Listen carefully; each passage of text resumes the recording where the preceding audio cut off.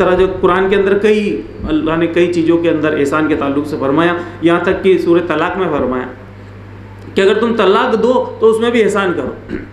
क्योंकि यहाँ बड़ा मामला है, कितना बड़ा मामला है, क्योंकि मियाँ बीवी के अंदर अगर नफ़रत एक बार हो जाती, किसी बात को झगड़ा हो जाता है तो उसका मामला ऐसा हो जाता है एक तो शैतान उन पर हावी हो जाता है और शैतान को सबसे ज़्यादा इसी के अंदर करवाना चाहता है, ताकि वो मियाँ बीवी के अंदर झगड़ा पैदा करवाए।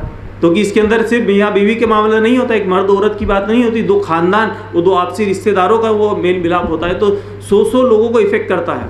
सौ लोग के इधर, सौ लोगों के इधर इफ़ेक्ट करता है, एक रिश्ता टूटने की वजह से इन लोगों के आपस में इतनी नफरतें फैल जाती हैं। उसके बाद आने वाले नस्लों तक उनके अंदर आपस में रिश्ते नहीं होते कि हमारी जो फला चाचा की लड़की को इन्होंने छोड़ दिया था, इनके यहाँ रिश्ता ही नहीं करना। तो इतना बड़ा मामला है। तो उसके अंदर खुद अल्लाह ने इसमें कहा कि अगर तलाक भी दे तो एहसान करो।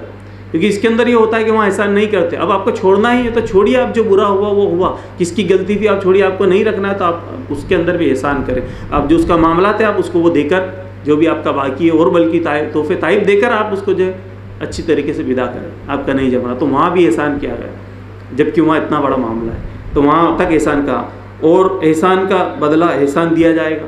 सूर्य रहमान में फरमाया कि जो एहसान करता है, उसका बदला एहसान ही दिया जाएगा। और वो एहसान का बदला अल्लाह देने वाला है। इसी तरह सूर्य बकरा सूर नंबर दो, आयत नंबर तरियासी में अल्लाह ने फरमाया कि हमने बनी इसराइल पर से ये वादा लिया था कि तुम अल्लाह के सिवा किसी की इबादत न करना और माँ बाप के साथ में तुम एहसान करना।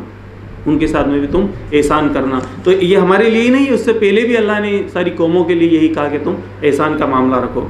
और इसी तरह जो है, अल्लाह ने एक जगह ये भी फरमाया कि हमारी ये इम्तिहान है, जो इसका जो ताल्लुक से भी फरमाया सूर्य मुल्क, सौ नंबर सनसेट आयत नंबर दो में अल्लाह फरमाया कि अल्लाह ने मौत और ज़िंदगी को पैदा किया ताकि तुम्हें, आज मैं तुम्हें देखे कि कौन एहसन अमला, कौन एहसन अमल कर कर आता है।